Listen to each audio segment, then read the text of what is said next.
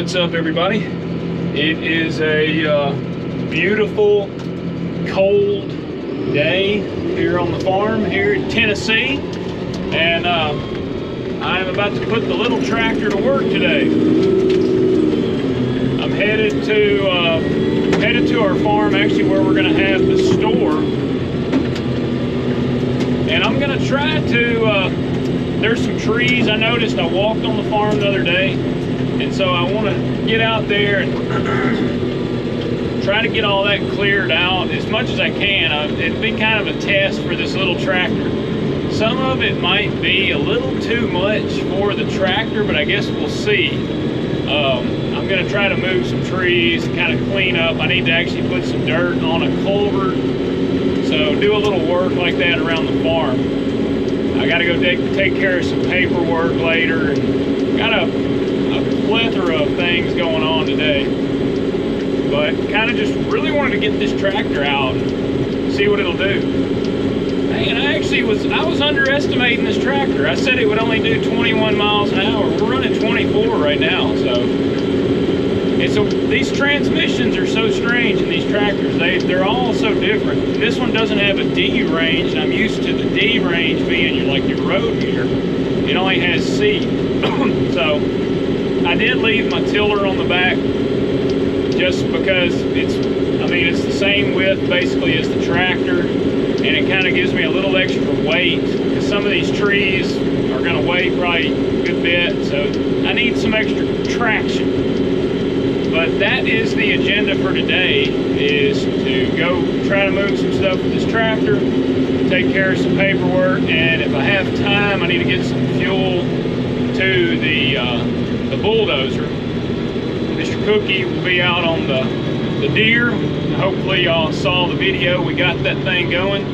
Boy, this thing really fades on a hill, I know that. it dropped from 24 to 18. Um, had to gear down to low.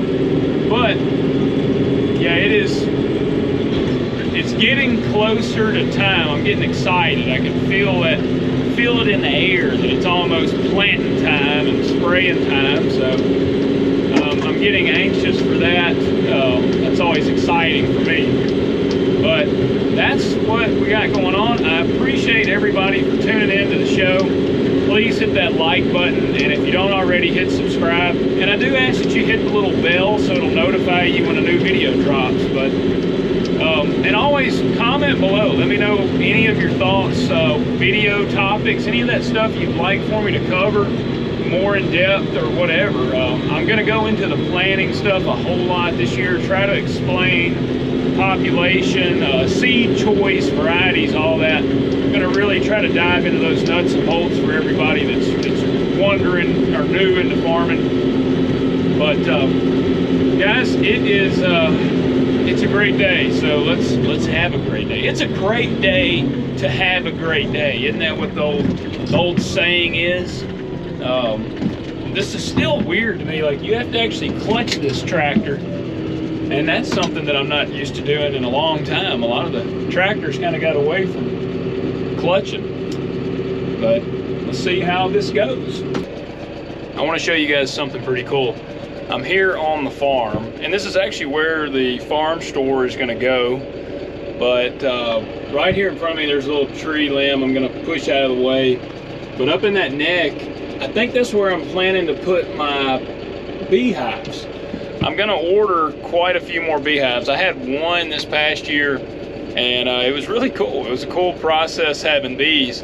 So we're gonna expand because the goal is to have our own honey in the farm store. So I'm probably gonna put about five or six beehives right in that little cranny back in there where they'll be kind of protected and isolated but still near the crops and all that.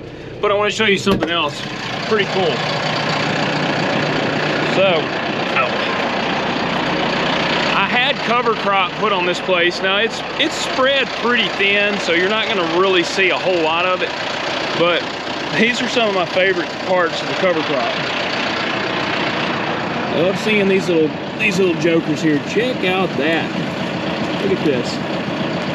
Look at that. These are what you want because they, they're so large, it breaks the ground up a little bit. And I've got a mixture of these. These, uh, you know, it's there's some radish, turnip, and there's even something else in here. I can't remember. It actually gets really long and they really break that compaction in the ground. That's one of the coolest parts with those. But I, I love seeing the radishes and turnips and stuff in there. Even more so, like there's some wheat, uh, I can't, rye, all that in the mix. It's a five species mix out here. But those are my favorite to see. It's, it's pretty cool. It's kind of busting up the ground a little bit. And as they, they age and they deteriorate into the ground, it's really good for the soil as well.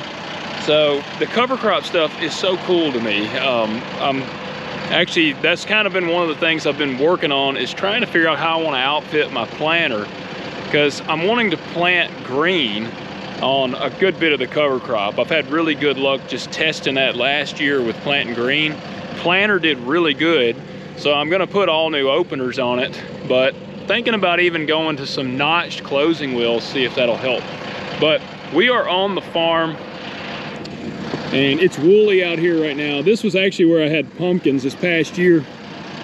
It didn't rain, so it was way too dry. They didn't do any good. I got enough basically for my family to have pumpkins. and there was some extras. I mean, there was a fair amount of pumpkins in there, but it wasn't enough for me to try to sell.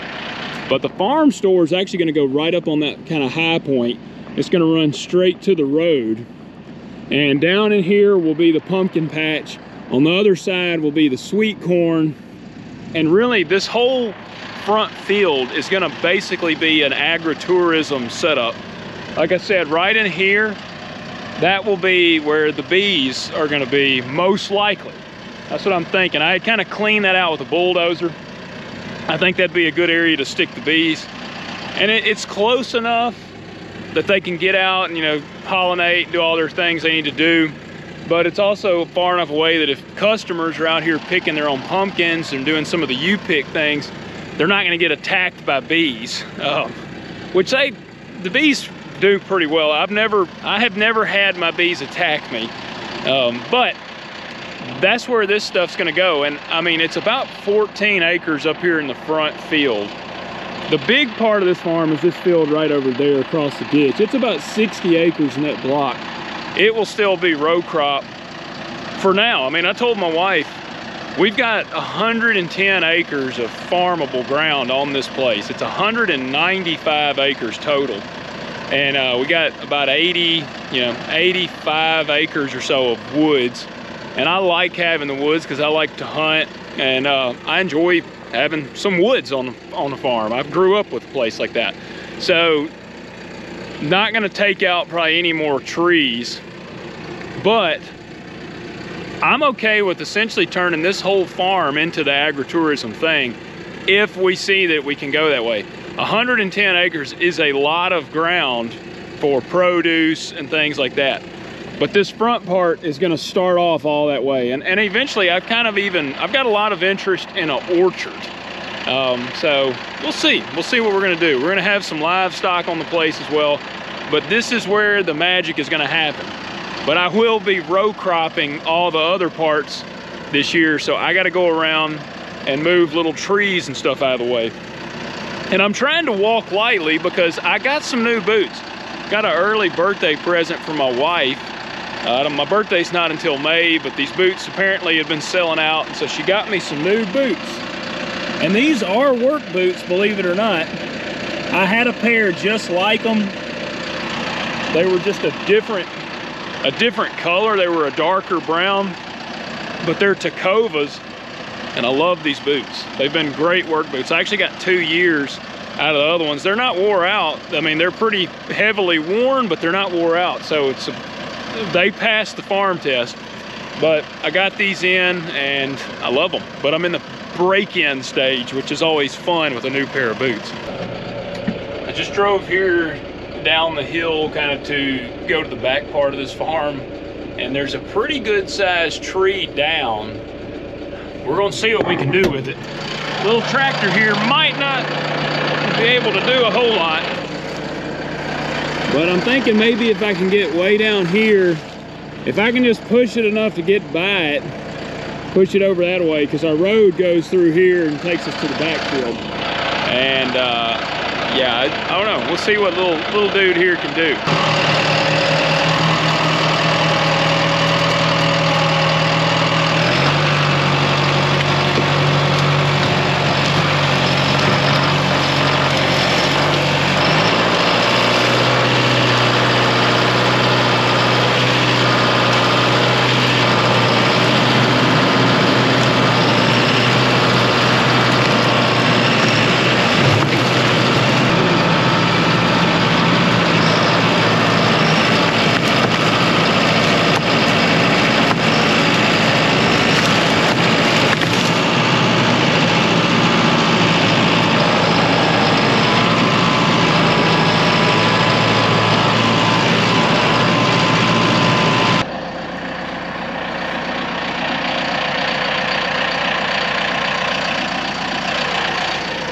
Never doubt me. That's basically what that tractor just said to me. Never doubt me. That did really good. Pushed him out of the way, got it up here. When I got down here, especially because I had two trees, that could push them right on out of the way. It's partly why I left the tiller on the back. Just because the tractor, I mean, it's a 90 horsepower tractor. That's obviously nothing compared to my 8420, but you know, back in the day, 100 horsepower, 90 horsepower, that was a lot of horsepower on a tractor. So it's, just, it's got some power. It's got a little power to it. It's just real light. There is water in the tires, the back tires, to help weight it down, but there are no wheel weights. That may be something I eventually add, but the tiller's at least giving us a little extra weight on the back. Now right up here, the culvert, it needs some dirt on top of it, but I'm gonna cross over there first try to fix or work, uh, get any trees out of the way that I need to, and then we'll patch that culvert. So for some weird reason, my audio did not work on the GoPro on this part, but as you guys can see, this is the kind of stuff that I'm looking for right here, is the the trees that are down like this. And this was a obviously a big tree. You can actually see it over there, right there where it's uh, it had died and part of it broke over in the field. Well, that is exactly what we're going around looking for because come time to spray and come time to plant, obviously you can't have that in the field. So we're going to try to get it out of the way and uh, see what we can do with it and uh, put the little tractor to work.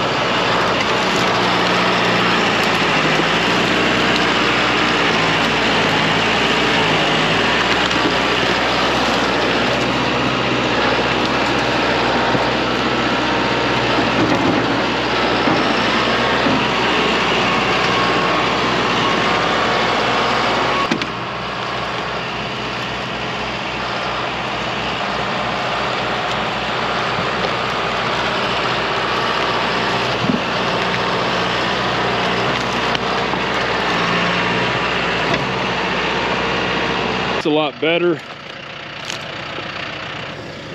That's got it pretty good.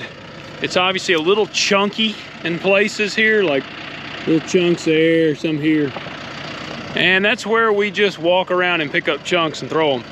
I could keep on scraping it with the, the blade or the bucket, but I'm tracking this up and I ultimately want to no-till all this. So that'll be a little bit of a rough spot planting right here, but it actually, it won't be that bad. The planter will plant right across it, but I, that's one of the things with no-till. And that's why, one of the reasons why farmers want people to stay out of their dang fields. Because when we no-till them especially, I mean, let's, let's back up here aside from the fact that it's just not that person's property that's trespassing on it and riding on it so you know you could just respect other people's property there also comes into the fact that a lot of farmers now are no-till it's better for the ground better for the soil all around good yields are better with it uh, so if you're no-tilling a place you don't need donuts cut in the field. You don't need huge ruts in the field. Like I said, for the most part, this ain't too bad. Right up there is the worst, but it's always really wet. I mean, you can see water standing right there. But that's one of the reasons why we don't want people in our fields. We're not just being jerks. Some people think that, eh, but whatever. All right, I'm gonna go down here and move these. I've shared in other videos that I'm kind of notorious for chasing squirrels. And here is actually, I'm, you know, I'm out here to push the trees out of the way. Well, I found a squirrel to chase. So this, this field that I'm in here, it had some terrible washes in it on these hills. And there's actually a structure put in right there, but just over the years, I'm sure that there was some tillage done on these hills and it has created some awful washes. Well, this one is relatively small compared to the freaking Grand Canyon that's over here. So I'm putting a little tractor, I'm really making it work today. Down here at the bottom of the hill up in the woods, there was kind of a high hump there and I don't work that part. It's just around the edge, so I'm going and scooping dirt. I'm gonna try to actually fill this one in with dirt. I've been put a couple scoops. It's gonna take quite a bit of scoops. And these, it's heavy because it's really squatting my front tires. I'm hoping I don't end up with a freaking blowout before this is done. But my goal is to try to fill that in, smooth it up a little bit. And you know, if I can get it planted, that will hold, especially with me doing cover crop out here. And depending on how the time goes there, I may try to do the same right here. Here's another one. It's just a random little kind of wash. And it's not that big. It'll just take, it'll still take quite a few bucket loads. But that is my goal now, to try to get these filled in and just see, see what we can do with it. Maybe make it where it ain't so bad. At least two washes can be taken out. The other ones, it would take a thousand bucket loads. I mean, it is a huge hole, but that's the current squirrel that I am chasing. I don't understand how they even get this bad. But this bucket, I'm gonna put it up here. Keep, I'm gonna just kind of work my way down because it is pretty deep in there. I mean, you can see, that's, that's pretty dead gum deep. but it's manageable, I think. I think I'll be able to do this. Uh, as long as I keep having enough dirt down there where I, I'm not gonna take any dirt out of the field itself because that's topsoil and I need it.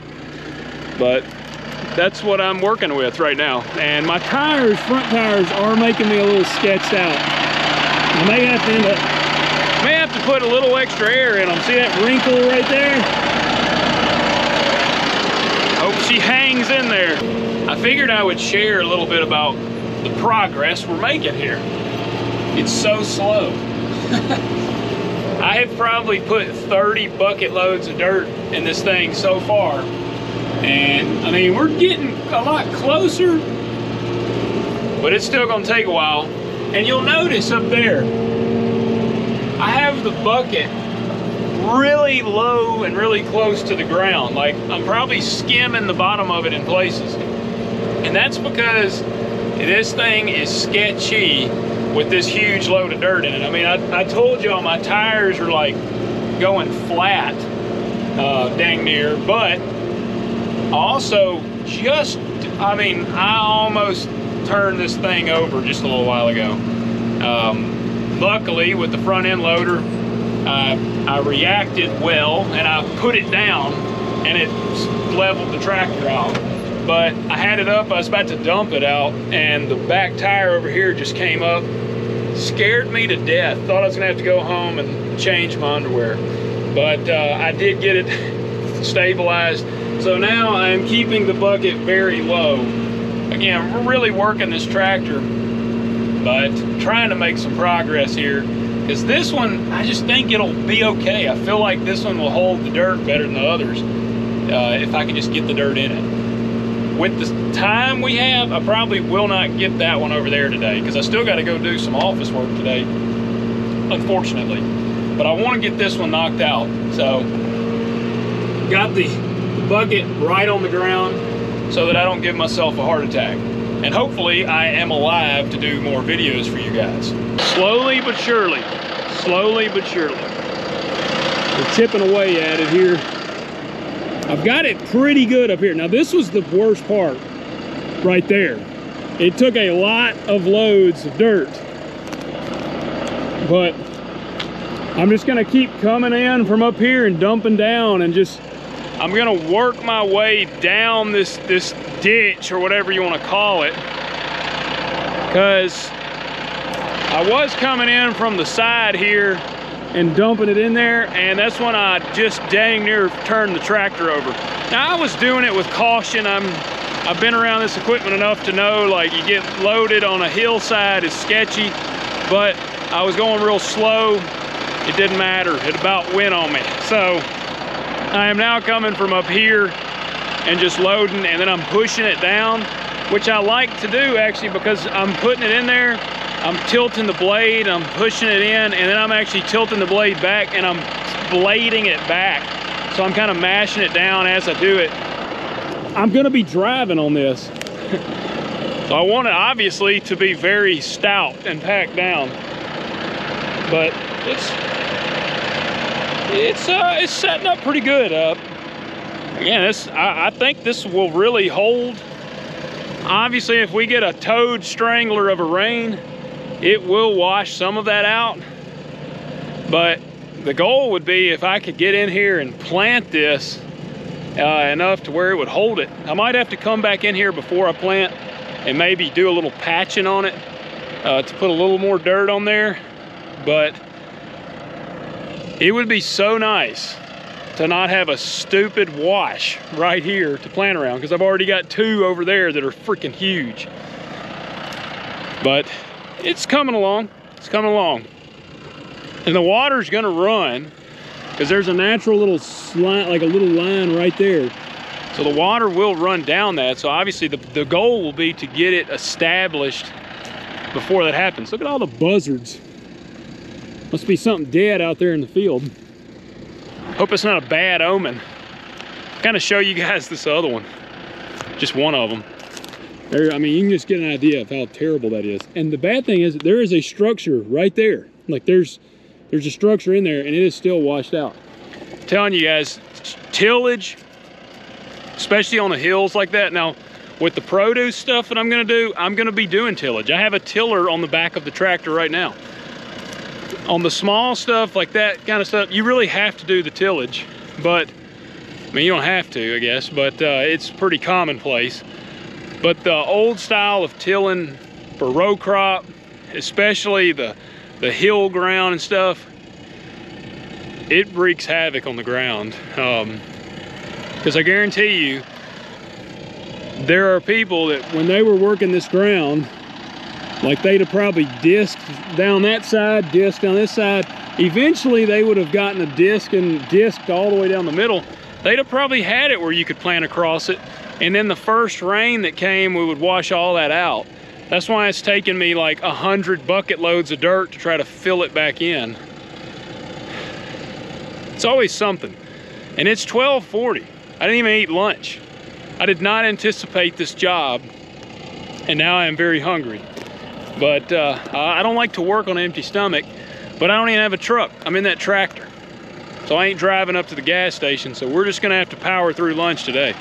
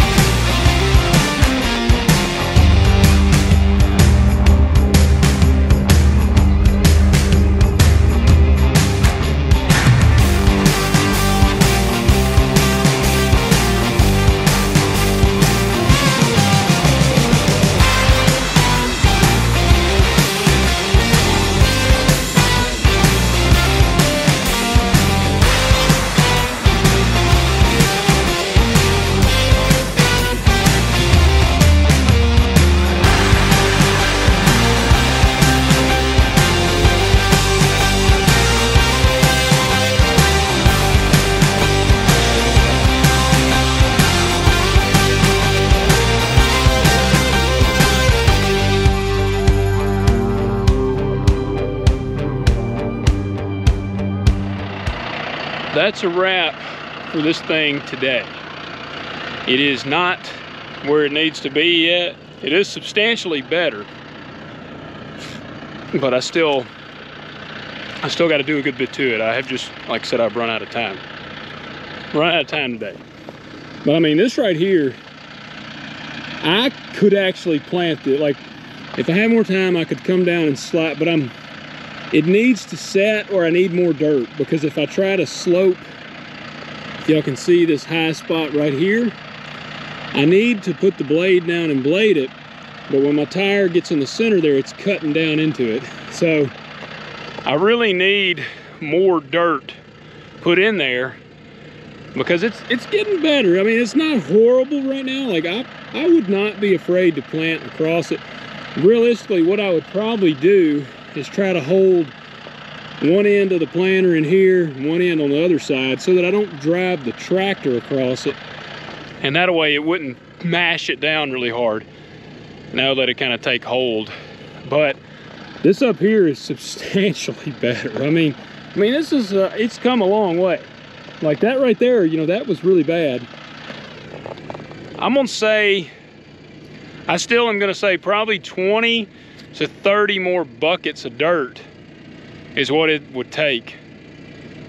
Maybe. I mean, it might even take more than that but that's a lot better than it was. I came in, I kind of cut that. There was like a high point right there. I kind of bladed it off a little bit. It just needs more time. I need more time on it, which is fine.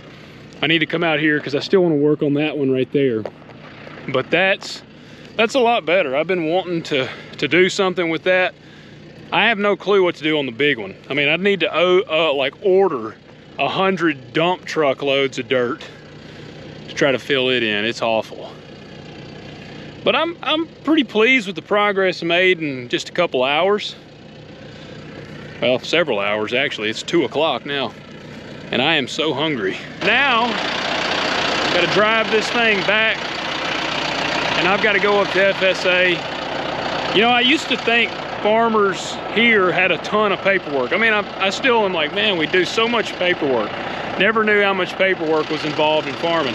And then my wife and I have recently been watching Clarkson Farms. I don't know if y'all have watched it on Amazon Prime. It's hilarious. And Jeremy Clarkson, is he's a trip on there. But uh, he, he has a ton of paperwork. He's farming in Britain. And their paperwork makes our paperwork look like child's play, the amount of crap they have to fill out. So I've been a little more appreciative after watching that show.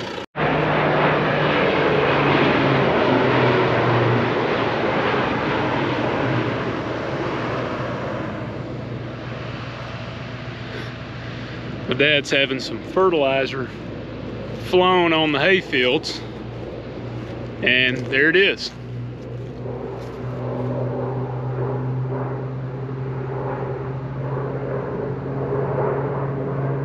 Well, that's the day in the books there. Y'all saw the plane. I didn't really get to tell you a whole lot about it. That was actually uh, Keith flying on some fertilizer on the pasture ground and I think some of the hay ground, maybe. I can't remember if where all he did it. Dad had him uh, fly on some fertilizer.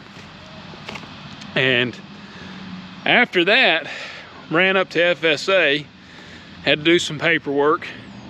Like I was saying earlier, it is so much paperwork in farming, but I guess it's not as bad as it is in like Europe. But uh, now I'm having a brewski Ghost River. I don't know if y'all listening have ever had it but it's actually brewed uh, locally here in Memphis. And uh, man, it is good. The Golden Ale. It's very, it's a smooth beer. It ain't got that weird craft beer taste. And again, it's local to my area. Got the Tecovas representing. Got the Tecova boots on. Double representing. But uh, something pretty cool. So I don't remember if I told y'all, that I was looking at a drop deck trailer and we moved around. Yesterday, we actually moved the bulldozer and a track hoe to the next places we needed them. And our low boy, this what we call our trailer. For anybody that like completely doesn't know anything at all about it, a low boy trailer is what they call like what you move a track hoe or a bulldozer on, pulling in behind a semi, obviously, but the one we have, it has ramps that fold down and it's it's a good heavy trailer but it's slick and the track hoe my dad has actually slid the track hoe off before loading it loading it is very sketchy because you got metal tracks going onto a metal trailer and they slide around real easy well it got pretty sketchy yesterday with my deer when he was loading it and then I unloaded it and it was it, you just are very uncomfortable and it is pretty, I mean, it's dangerous. It's just really dangerous. And so after yesterday, talking to dad, I told him, I said, so we need to invest in a drop deck. And a drop deck, instead of having ramps, the actual trailer sits down on the ground and the truck drives out from under it. And then you just drive right up on the trailer. You don't, you're not very high off the ground. So I went and I have purchased a drop deck and it's this will be a trailer that will literally last me I'll be dead and gone the trailer will still be trucking but um, we got it and it's a heavy duty enough one that I could even move the Volvo it's a 50 50 ton 52 ton trailer so it's rated for like 110,000 pounds or something and uh, I am not doing the conversion right now somebody can correct me, but it's over a 100,000 pound rating trailer. So my Volvo weighs 84,000 pounds. So I could move that Volvo around if I need to. But we are getting it. It looks awesome. Um, it is, it's new, it's black, it's got aluminum polished wheels. It'll look really slick behind that mean Peterbilt right there. But um, again, it'll last me forever and we will use it. My dad and them will use it, I'll use it. So be a nice thing. But I'm gonna have this brewski. I feel like you have to like have a drink when you're videoing because people are like, does he even drink? He's just holding the beer. And I'll even, no, I'm not gonna pour it out. I was gonna say, I'll prove there's beer in there, but I'm not gonna waste good beer. Um, I'm about to get in here, feed the cows, and go up here to the house and call it a day. That is gonna be a wrap for you guys. And there she is. She got to rest, the little tractor. She did good today. We got to go back out there and get back to work. But tomorrow, got to go and take care of some paperwork on the, the trailer and uh, scope out this farm where I got Mr. Cookie and try to lay out a game plan on it. So we've got another busy day coming up. But that is it for today. Guys, thank you for watching. Please hit that like button, hit subscribe and share these with your friends if you enjoy them. And uh, uh, also to the people that have commented, given topics and things, I have noted them and they will be covered. I will be going into those. I'm gonna do quite a few discussion videos covering some of y'all's topics that you've put in. I appreciate every one of those. And if you're watching right now and you have a topic or anything you want me to cover, comment it below. I will gladly discuss it. Thanks so much, guys. Y'all have a good one.